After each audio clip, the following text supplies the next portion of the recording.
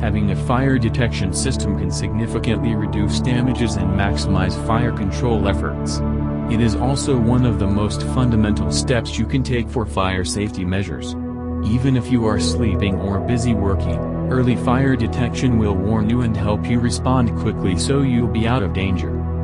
Parts of the fire alarm system Smoke alarms detect fires by sensing small particles in the air using a couple of different kinds of technologies. Once they detect those particles above a certain threshold, they signal the alarm to sound so that you and your family can get to safety and call 911. Smoke alarms save lives. Heat detectors are intended to minimize property damage by reacting to the change in temperature caused by a fire. Smoke detectors are intended to protect people and property by generating an alarm earlier in the development of a fire. Optical beam smoke detectors work on the principle of light obscuration, where the presence of smoke blocks some of the light from the beam, typically through either absorbance or light scattering.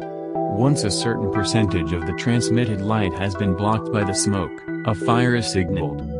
Duct detectors sample currents in the air handling equipment to determine if smoke or fumes are present. If smoke is detected, the device will close dampers, stop fans and blowers, and trigger an audible and visible signal at the fire control panel. A fire alarm sounder and fire alarm beacon can be an essential part of an addressable fire alarm system on your work premises. Fire alarm sounders and beacons provide an audible and visual warning in the event of a fire, ensuring that everyone on the premises is alerted to the potential danger. Fire alarm flashers are a worthwhile addition to any fire alarm system, they provide a visual warning of fire. Fire alarm flashers first emerged on the fire alarm market in the 1970s, mostly as red or white incandescent lights and as an accessory to an existing fire alarm. Manual call points are typically installed at various fire escape route locations throughout the premises. Featuring bright red housing for ease of identification, the manual call point allows for occupants to manually activate the fire alarm system in the event of an emergency. A control module operates as a single entity and performs the basic control function. A control module is made up of sensors, controllers, actuators or other control modules. Control modules cannot execute procedural control, they are called upon by procedural control to perform the specific action.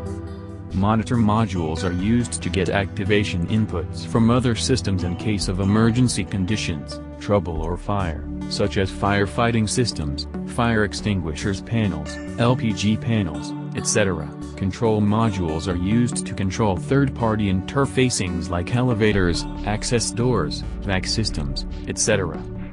The firefighter telephone is used by fire officers or building management during an emergency, such as a fire.